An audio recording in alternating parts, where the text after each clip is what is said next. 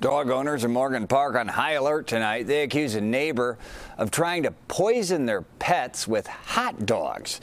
Tonight, CBS 2 political investigator Dana Kozlov looks into the claims and if it's even legal to leave poison out on private property. Hot dogs laced with a blue substance. People living in this area of Morgan Park believe the blue stuff is poison.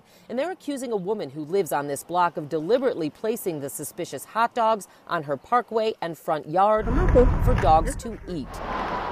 We were contacted here at the 19th Ward office. Alderman Matt O'Shea then called police and animal control. Obviously, a very serious allegation, obviously, very disturbing. Residents who didn't want to talk on camera tell me they first saw the blue substance laced hot dogs in January. One concerned pet owner even picked up the food and kept it as proof if needed. There was just allegation of uh, poisoning, and we are investigating.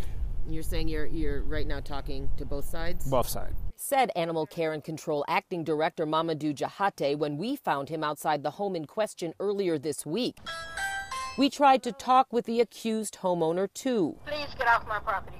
Okay, I just wanted to give you a chance to, to say anything if you felt you needed to say anything about these allegations. She didn't. A public parkway is one thing, but what if homeowners put poison on their own private property? It's illegal. Alderman O'Shea points to city code, which states it's unlawful for anyone to put poison in any yards or other open place on private premises or on the outside of any building where pet dogs, cats, or other domestic animals have access. The code also states people can't knowingly poison or cause to be poisoned any animal except with a written permit. The fine, up to $5,000. Animal Control's Diakhate says after two visits to the home in question, investigators found no evidence of hot dogs or poison on the property, but they warned the woman who lives there not to put anything like that outside. So no citations issued, but neighborhood pet owner concern lingers. Outside Animal Care and Control at 27th and Western. Dana Kozlov, CBS 2 News. Animal Care and Control employees will now put up signs in Morgan Park reminding everyone about pet etiquette, like not poisoning, as the result of this concern.